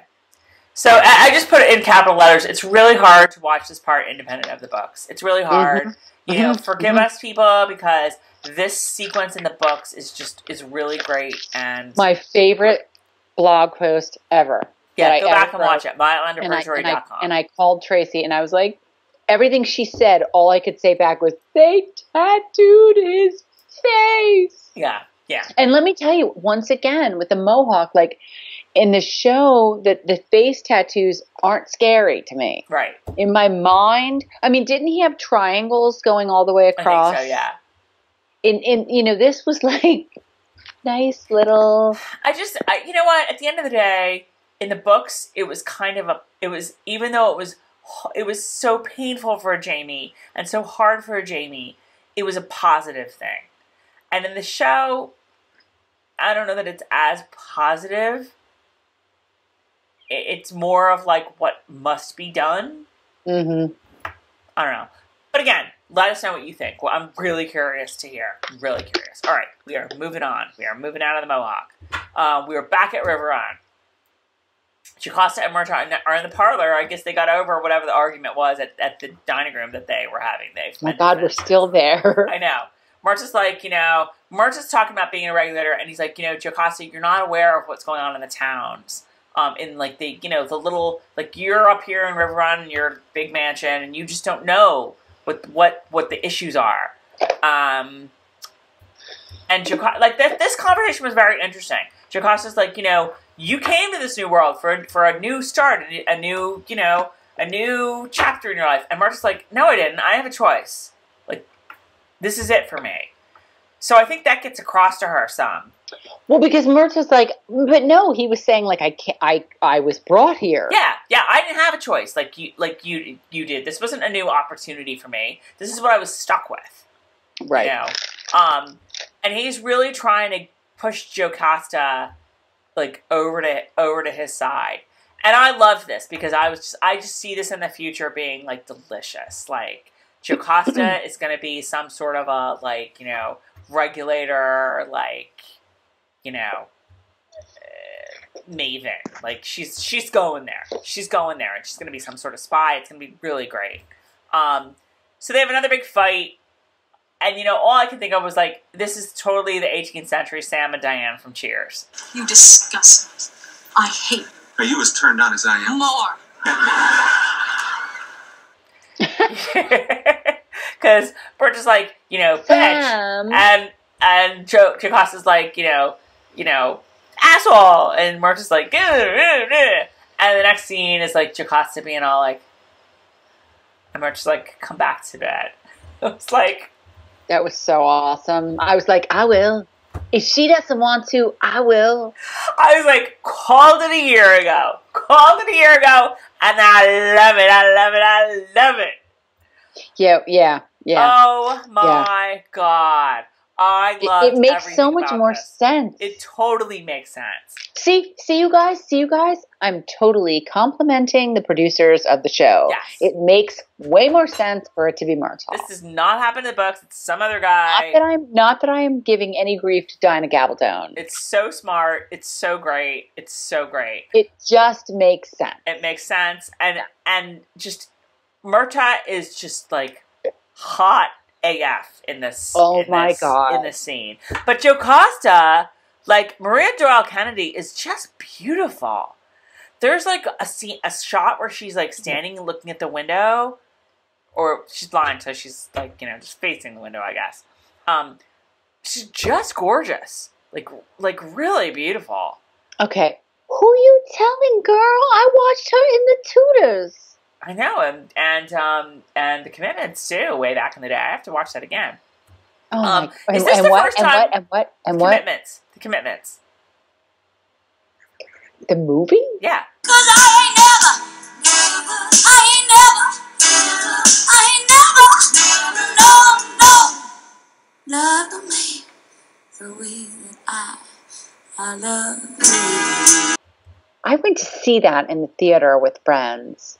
I know. and I, saw it in the theater we too. may have smuggled in a little bit of contraband, aka alcohol. I saw it in the theater too. Was That was like 20 years ago. I know, I know. She's a singer, so she's a singer. Um, but she is this the first time we've seen Murtagh in the bedroom? Bow, chick, bow, bow. I think it, we, I don't know. I think we may have seen him once with like Oh, some the fr- one of his French girls. some bar wench or French girl or a, a prostitute. Um, now that you're think, now that you're saying it, maybe he did have some French girl. That's true. That's very true. But um, I love, I love it. I just love it so much. I don't even know what to do with myself. I just really love it. I love that they've known each other for almost fifty years. It's so so great. Are you even listening? Yes. Are you watching it? Yes. No, no. 50 years. 50 years. Yeah. They really have. Like, they knew each other from Lallybroch. They knew each other from, like, way, way, way, way, way back in the day. yeah. Not Lallybroch. What's the name of the original castle? Leoch. Castle Leoch. Leoch. Leoch. Yuck. Okay. Leoch. All right, let's go back to the Mohawk. So they've gotten Roger. Jamie's like, you know, blah blah blah blah blah, and then Roger just clocks him. and It's so great too, because Jamie's like, yeah, totally, like, you know, it's all good, bro. Just have at it. And Roger's like, you know, with one arm. You know, I was mad at myself. Did that happen in the book? I don't know. I don't know. I was mad at myself because I was like, how could I not remember this? But that was seriously like, oh my God. So I- great. I'm sorry, you guys, but those non book readers, Roger's way tougher in the show than he ever was in the book. Yeah, Roger's Roger. I mean, Roger's a professor. Like he, Roger's like kind of mild mannered in Yeah. the books, and like he's not meek, but he's mild mannered, and he sort of like, goes with the flow and does whatever he has to do to get through a situation. In this, Roger's like, I know know. what I- Well, now he's like boom, boom, boom. But Yeah. they start intercutting it with Ian running the gauntlet or going through the grease Yeah. line, like Yeah. whatever you want to say.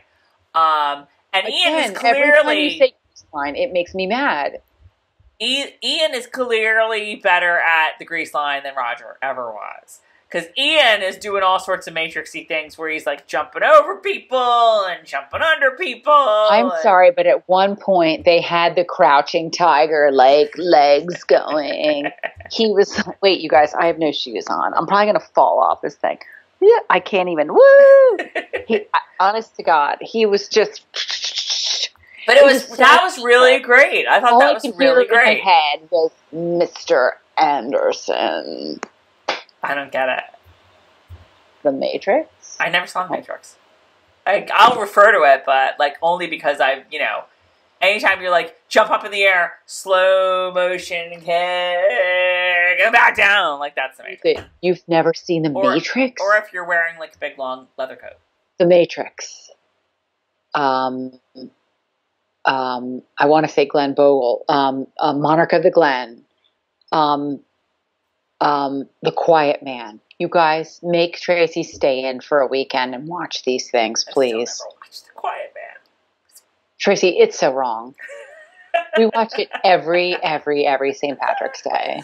Okay, so so they're cutting between Roger, one arm beating up Jamie, and Ian running the grease line. Ian runs the whole thing. He finally lands up on somebody's shoe. It's the chief. The chief is like, "You're one of us now." Of course, he says it in English when there's like no native speakers at all around. But Right. whatever, whatevs. Because we're obviously too dumb to read subtitles. Okay, moving on. Oh my God, why can't we just have on. subtitles? Oh, It would not take you out of the scene if we just had some subtitles. Speaking of subtitles, I watched Roma last night. We watched Roma, which is um, nominated not only for Best Foreign Language Film, but Best Film. For Oh my God, I thought you meant Rome. No, Roma. Um, it's really lovely. You should watch it. It's a very lovely film. I totally will. um, and it's on Netflix. So We're watching have a discovery of witches because I blogged about that. A discovery of purgatory. Um, So we are starting season four as soon as I, I mean episode four as soon as I stop this video. Okay. So let's get to it. So Claire tells Roger the whole story about Bree, everything. She was attacked by Stephen Bonnet. That scene's so great. Rich, Richard Rankin is so great in this. He's so, so, so, so, so good. His reactions to all this shit, where it's like, you know, no, like Bree wasn't like, you know, sending Jamie to beat you up. Um, he did that all on his own because he's a dumbass. Um, and um, she was attacked. She was raped by this guy that you would never in, in a million years ever know, Roger, Steve Bonnet. And Steve Bonnet. And Ra- Roger's like, Steve Bonnet. Oh my god! My God, it was so good. It was so, so, so good. So good. And when he's like, no, I left because she told me to go. But he still came back for her. And then he's just like, yeah, no, I need some time. I, like, this is all just too much. Okay, again, I did as much as I didn't like that in the books because I kind of remember me blogging and being like, "What?"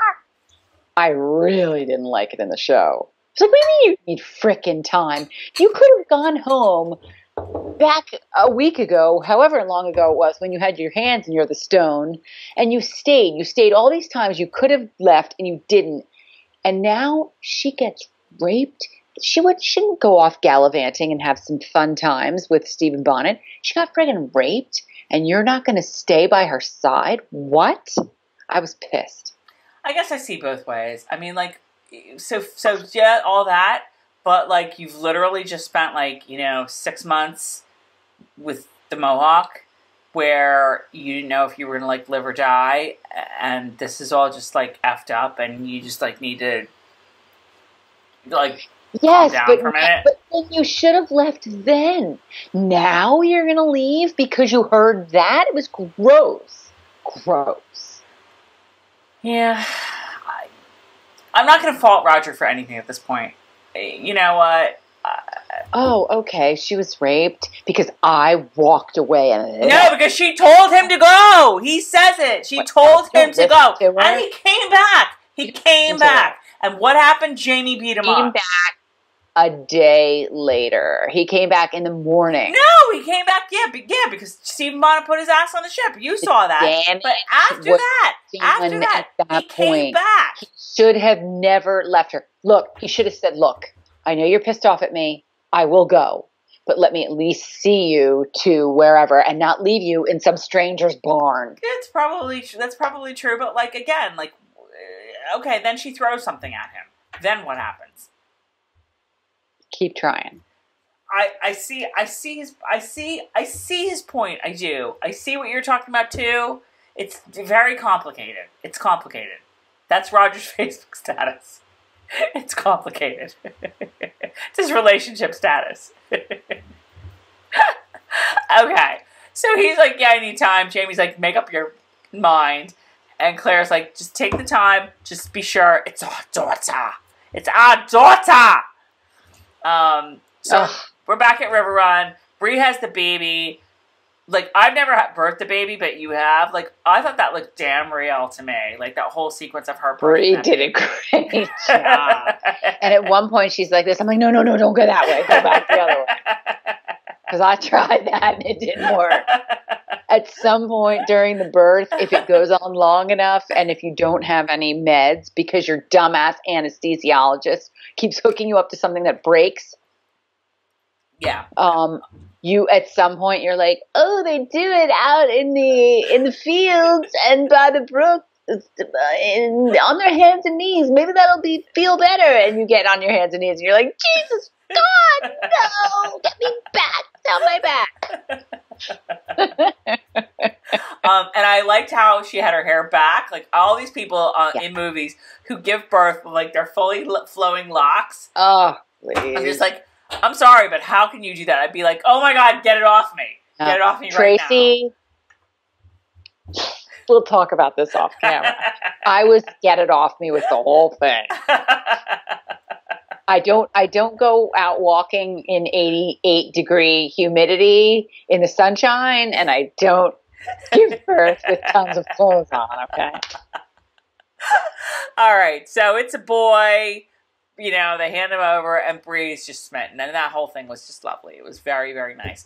That is actually very different from the book because Jamie and Claire are back by that point, and you know, Claire, God forbid, Claire does not deliver that kid, but in the TV show, it did not happen. Thank God for Phaedra. Thank God for Phaedra. Love Look Phaedra. She's so great. And Lizzie's there too. Like Lizzie was always hovering in the background in this episode, but like she was always there. Like I forget And when if they- Lizzie was there. It was Jocasta, Miss Phaedra. Was Lizzie helping her give birth as well? I don't know, but when Lizzie came down those stairs, I was like, oh yeah, Lizzie. I forgot about her. Okay, so it's two months later, and Bree's sitting with the baby and Murtagh, and I'm sorry, that baby is adorable. And at one point, Murtagh and Jamie are having a conversation, and I'm like, hot, hot, hot, hot. And I'm so impressed. Sam Heughan is how old? 30 something? He's probably closer to 40, but all right, whatever. I'm like, go Murtagh because he's just as hot as Sam Heughan in this scene. I know. Mhm. Well, then I think we're a little, you're a little ahead of yourself. Um, yeah, because that's the part where, that's the part where I thought we were ending. No, no, no. We still have a little ways to go. Um, so that baby is adorable. So there's riders coming down through Campbell's Field, and it's your mother. It's Claire. So they arrive, and Bree's all like, and there's no Roger there, and you can just see her face fall. Right. So there's no name for the baby yet. She's waiting for Roger to name the baby. Um, I like that moment where Claire thanks Jocasta for taking care of her. Because remember, Claire and Jocasta were a little like, "Eh." but I think Claire's on board the Jocasta train now. I think that was the whole like taking care of Bree was helped a lot. So then this is where um, Jamie and Murtagh like have their little discussion, and Jamie's like Bonnet, and Murtagh's like on it. Jamie's like Bonnet, Bonnet, on it. um, so they both think he's dead. Do you think he's dead, audience? Heck no. I don't know. Come on, you didn't see him die, did you? He did get that key, but then he did blow up. So I. I He blew up real He blew up good. real good. so okay. Um, so Clara and Brianna have a very nice little scene, and Clara's just like, "I just want to bring you home to Fraser's Ridge. That's what we're gonna do." All right. And then it's dinner, and they're all eating dinner, and Bree comes down to dinner. And, like, you know, okay. And it's a big to deal. world. down here, yeah. Because she knew they were serving corn on the cob. and she liked corn on the cob because that corn on the cob looked really good. Yum. Jocasta, like, I just want to live at River Run and eat all the food. I'm sorry, it all looked really good. Um, and I can see also that Claire touched up her roots because there's like once again no gray. So did I. That happens once a year. um, so okay, so they're preparing to go home and they're packing up and they're da, da, da, da, and Bree's like doing this and that and she looks out the window and she sees a rider and she's like, I know who that is. And she takes off. Now, you know what? This is something that you and I would normally make fun of, like, to no end, which is like she's running and he's riding, and then he gets off the horse and they run to each other and the big hug, like that they do in every movie ever. And I have to say, I loved it. She was very believable. And I like that she was putting herself out there because Bree doesn't usually put herself out there. And she's like really running and just so excited to see him, which is the first time we've seen Bree really give a shit about Roger. To oh, God. Brie's got this kid now. And she's like, oh, I need him. Oh, crap. And Roger, not be Roger. that baby daddy, but I need a baby daddy. So Yes, yes, and and this is the point where I wrote down on my little list that Roger looks like a Harlequin cover because he's got he's. There's like one breasty hanging out, and he's like Oh looking like Fabio, Oh and, God. and I have in capital letters. Oh my god, Roger's chest. it was like there were three, there were three people involved in this scene.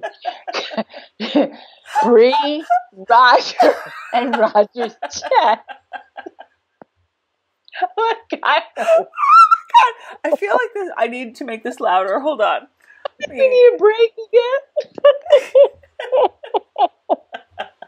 His hair is all tumbling. Roger's hair is tumbling. I was like, oh, are they going to do it right there in the field? But part me, and same thing with me, Carol the blogger, was like, okay, so you couldn't have given him the time of day uh, before, but now that he's busy deciding whether he wants to bother with you and your child, now you're gonna run off into the wilderness for him. I was like, if there's any time to make a stand and be like tough female, it's now. You'd be like, where the f- you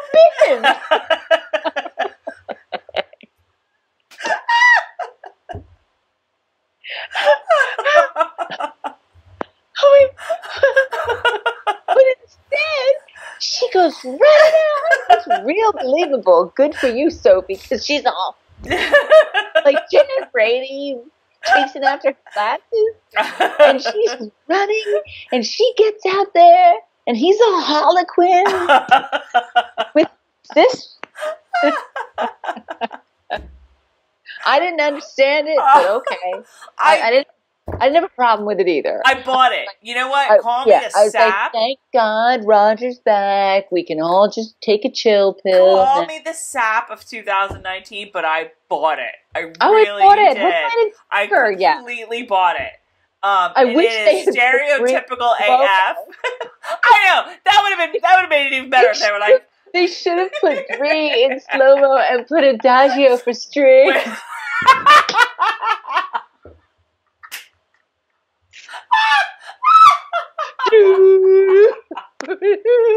oh my god! Oh my god! Okay, I I have to I have to put a pin in this conversation because I have to say since you said it. So I like okay last week's video. Oh my god, I'm peeing my pants. I, so Tracey, funny. I the second time in one video. Last week, you guys, we didn't really say much about that, and the reason was because we did like a ten minute bit on that that I cut out of the video. afraid of what you're all gonna think. what I normally do is I edit these on Sunday mornings or Sunday afternoons after people have watched it on on demand. So I'll go on like Diana's page and I'll go on like a bunch of other pages and I'll sort of read the room and everyone was like, "It's so effective. It's so great." The Adagio for strings over so that she like censored the shit out of us. and I was like, "Wow, people really like it that much?" Ugh. okay, I'll cut the whole 10 minute. That's going to be a Droughtlander video. I'm telling you guys right now. Because we went off on that shit. And then, I re- thank God for our bud Ginger of Outlander Podcast. Ginger, you guys know Ginger on Summer. And I, I kind of knew in the back of my head, I was like, I think I thought at some point, like, Ginger's not going to be happy with that with that choice of music. And Ginger went off. Ginger had the stones. Ginger had the stones to go off on it that I did not have. That I was too big of a wimp, and I cut the I did. out of the video. I totally had them. I cut, well, we But both she- did at the but moment. she edits everything I say. no, I went off on it too, and we. I mean, that was like the when we watched that episode. The first thing Carol and I said on text was like a Adagio for strings. Oh my god, what the f? What the f? Like a mistake. Oh my god! Oh but here's my the deal. Here's the deal. I'm the first one to say if you liked it, good for you. I'm happy that you got joy out of that. I'm happy that you liked it. I'm glad. That's okay. That's cool. I don't look down on you for liking it. If you liked it, then good for you. I didn't. You did. It's all cool. That's just- why I don't believe in cutting out our opinions because opinions are opinions. I, I, you know, I get. I, I think I'm like getting to the point where I kind of know if we say something. I just I don't feel like dealing with the repercussions sometimes, and that was one of the ones that I felt like you know what I don't feel like I don't I don't I don't feel like it. But but trust me, it's good. Trust me. Like the first time I watched that episode, the very first watch, I was already cutting clips of you know, parodies, parody shows that have used that piece of music, like to parody something. Like I, uh, whatever, whatever. It's all good. But yeah. So I, don't even know how we got. Oh yeah, yeah. yeah. So no, All Adagio for strings was not played over this. Thank God. Although it could have been because it did fulfill. No, if they had been running in slow motion, it could have because that's one of the rules of playing Adagio for strings is that you have to be running in slow motion. right. Right. Okay. Um, so okay. So it, I mean, it is a great scene. Like uh, you know, the the two of them are like I really bought that scene. I bought that whole scene. I really did. I really did. Yeah. I really did. But what do did. you think about the red coats? Weren't you Okay. scared? So then the red coats are coming up, and I was, yeah, I was like, "What's this all about?" Oh my god! So they see inside the house, you know, redcoats are coming. And Jocasta's like, "Hide Murtagh! Hide Murtagh!" So they hide Murtagh.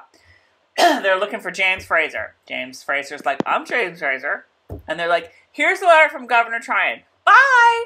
And I'm just like, no wonder the taxes so are so high because like you gotta have ten redcoats riding to like deliver one dumb letter to one Well, it's dumb kind of like it's kind of like when there's a little smoke coming out of someone's house, and like every fire truck from ten towns around comes. It's kind of but, the same but thing. like but like why was it necessary to have ten redcoats other than to make us think that like this is a real problem? um, Outlander shock value. Yeah, Outlander shock value, yes. ASV. When you pay those, or OSV, when you pay those OSV taxes, Jamie, um, you'll know what they're about. Um, Right. Okay. so the letter is from Governor Tryon. Jamie has been, uh, uh, you know, uh, asked, I guess, politely requested, to um, put together a militia to fight the regulators. And the first task is to take out that head regulator, rabble rouser, Murtagh Fitzgibbons. Dun dun dun. Cut to black. Season's over. What did you think of that as the cliffhanger? Lackluster? Underwhelming? Okay, here's what I thought. I thought it would be enough. I would have done it again, and this is another thing where it's like show don't tell. I thought it would be, enough. Like, okay, they leave. Murtagh comes out of wherever his hidey hole is. Jamie opens the, the the thingy, and it just says, "Put together a militia to take out the regulators." He looks at Murtagh. Murtagh looks at him. They're both like, "Oh shit," because they're inferring, as are we, the audience, that that means that Jamie is going to have to go against Murtagh, season ending. But no, audience is too stupid for that. So they need to tack on this thing of like, and your first task is to hunt down and kill that, you know, pest, rascally rabbit regulator, Fitz- Fitzgibbons. I thought being that specific was not necessary because I'm, you know what, I and you and all the Outlander people are smarter than that. We don't need. I would We don't need like you know. We don't need it. We don't need like them to take the Scottish beer bottle and you know bang it bang us over the head with it. The fact that Murtagh is a regulator and oh shit, if Jamie is gonna have to fight them, there's gonna be this conflict between them next season. I would have been okay if the big um, cliffhanger would have been Bree looking out the window and seeing one lone rider coming and showing her face like, and then cutting to black. No, I wanted that resolved. I wanted. I want that all resolved. I want that all resolved. Um, I just don't know that Murtagh being wanted is that much of a cliffhanger, but okay. Well, I don't know it's a cliffhanger. I think it's sort of a, a direction that where season, it tells you where season five will go. How about if if they had been like Murtagh, get in the hidey hole, and and they knocked on the door like oh, and they opened the door and they said, "Where's James Fraser?" I think it would have been a little weird because why are you like? There's no reason for him to be looked to for anyone to be looking for him. What has he done? I just don't know that the audience cares that much about Murtagh that they're going to be like, Oh, I think they do. we have to tune in, see what happens. Well, but it's more than Murtagh because, and again, that's the thing. That's why I don't want them to pinpoint him because they've they've sort of set up all of this conflict. They've set up that Jocasta will likely be supporting the regulator cause. They've set up that Fergus is going to be supporting the regulator cause. I mean, not like he's not going to be like Murtagh's second, but clearly he is, you know, working with the regulator guys. They've set up all of these regulators that we're starting to get to know a little bit. that would have been good too if they had a little tiny blip of Fergus and Marsali at the ridge. Quick and little wait, hold on. They've set up that that whole other aspect of it, which is that Jamie knows. Jamie already knows that he's in a really difficult position where he has to be like like supporting Tryon now, but switch over to the other side at some point because the other You've side is who's going to win. You've No, no, no, this is book. Karen. No, no, no, no, no, no, no. I, I'm Please, sorry. I'm Carol, sorry. wait, That's hold on, fine. Hold on, hold on, hold on, hold on. He and Claire had this conversation earlier in the season. Claire was like, "You, you know, you got, you got to be like, this. Our side wins this time. So at some point, if you take Tri- that was part of taking Tryon's offer. If you take Tryon's offer, you have to figure out at some point you're going to need to flip to the other side. And how are you going to do that? I understand that. I just don't know that it was interesting enough to, to be the cliffhanger. I guess I'm, I'm not needing like a massive cliffhanger. Like, You're a book reader. I'm constantly looking at this from the opinion of non book readers to see if they're coming back next year. Oh, they're coming. They're already. We know they're coming back next year. They're already. They've got Oh five my. God. if the book readers, if the non book readers are going to come back and watch, or if they're going to be like my neighbor and say, you know what, I'm kind of getting bored. Oh my god, this video is getting so long. Um, I don't know. You guys tell us in the comments. Is that is that like got you like riled up for the next season? Like, I'm see just a big fan of and I didn't feel like this was very, you know. And I liked it. I liked it. Were were we at the gathering? and that's another reason I liked it. We didn't go to the gathering. Why are we at the gathering? Yeah, you know, well, part of the gathering too is that the clock is ticking on the on the whole hand fasting thing.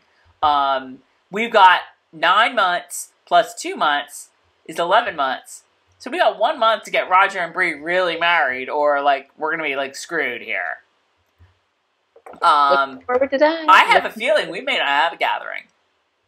Lord the gathering. Oh, the gathering. We may right. have a It's- gathering. and on that note, it's time. Um, so what did you guys think of the ending? I, I, I liked it. I liked it. I thought I just I didn't like the specificity of you got to get Murtagh. I thought that was kind of a cheap shot a little bit. Um, like our, it's there's plenty of conflict there. You don't have to like pinpoint it at Murtagh. I okay. Let me just throw my opinion.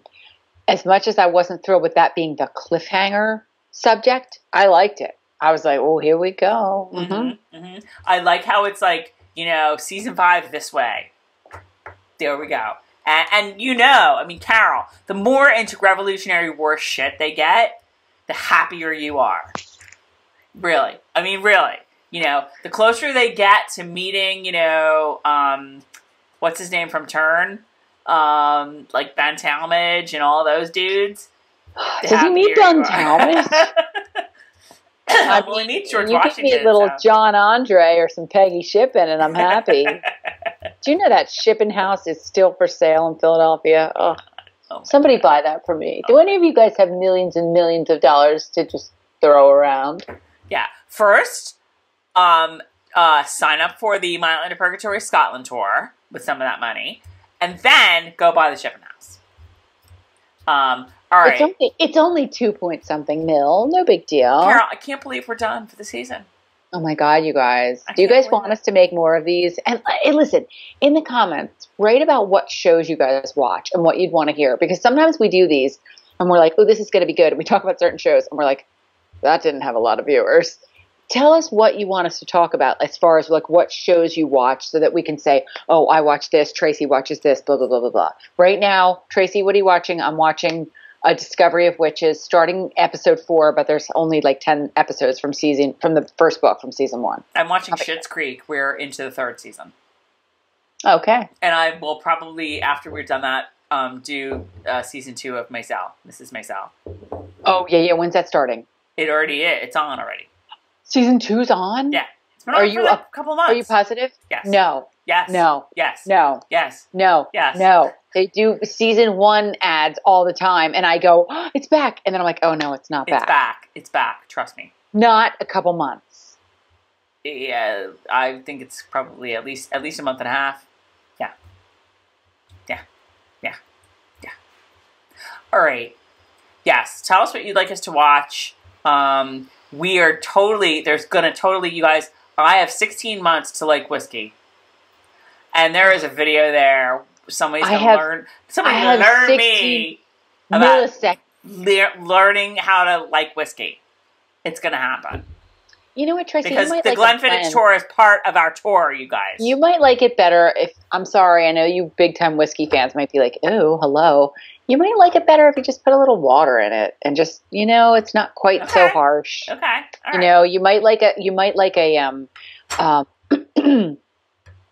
a, a, some people believe it or not are going to like a blend better than a single malt. I mean, you just it just depends. You really need to go and have like a whis- whiskey tasting. Oh, that's good because I think we're gonna. All right, you guys. Um, you guys, this season has been so great. You have been so great. Your comments are so fantastic. Um, we appreciate it so much. The love that you guys like give to us is just like makes us want to cry and you know drink more of this. Um, thank you so much this season. I think season four has been a really wonderful season. Um, to all involved.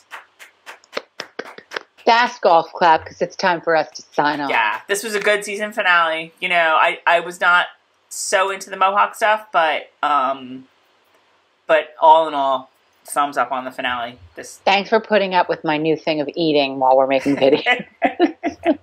so you're gonna be hearing from us a lot more, and we're gonna have a lot in store about the um about the trip.